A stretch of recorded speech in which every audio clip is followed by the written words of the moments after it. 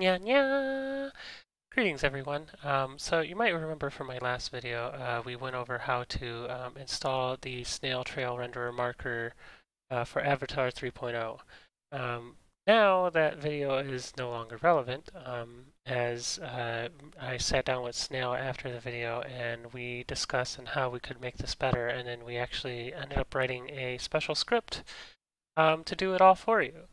Uh, but I will link the previous video in the comments uh, or in the description um, so you can go back and reference it. Uh, it is good for um, checking out how the, re the renderer works, uh, the, the, script that we're doing works. Um, it is good for uh, understanding how that stuff works in general, so if you need some help with Avatar 3.0 stuff, it kind of gets you in the right direction. But for now, uh, I'll just show you how to use this really simple script we've created. So just download it, of course, and in this case, marker 3.0. Give it a launch. You'll see the import. Of course, import it. Give it a couple seconds. Go. So in Snail, marker 3.0, you'll see marker.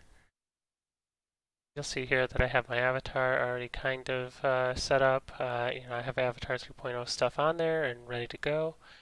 Uh, so in the armature, tips, and I'm going to put it on my right finger where I usually like it. So just right in there on the index finger. Put that right there. Go.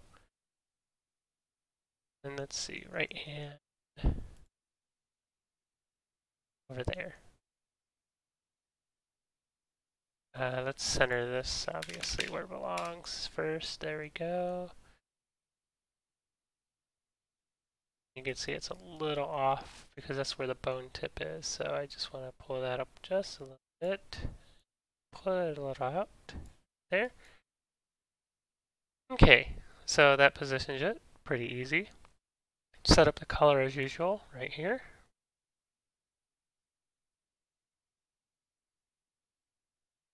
In my case, I like, as usual, my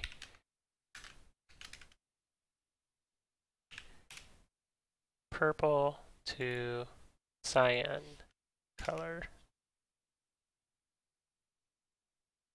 Pretty simple. Make sure the marker is off.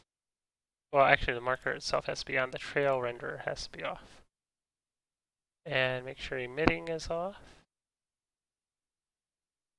Snail created a little shader here for uh, rainbow, but you can just do an unlit color if you want your color here to work. So you'll see uh, it says you know, Avatar is miss uh, the Avatar is missing some 3.0 stuff. Um, just simply click uh, Setup 3.0 stuff, and you'll, what you'll see is that on your avatar, it would it should have um, created for you uh, your menus and parameters. Um, but it should also have created your FX controller. Which if you're wondering where those got put, you'll see that here's your controller and menus in the generated folder with your avatar name and the marker folder. Alright, so back to the marker. Now you see the configuration of where do you want to put this thing. Uh, well, not where, I'm sorry. The where is the menu um, this part. Uh, this, the hand, is what hand you're going to use to make the gestures.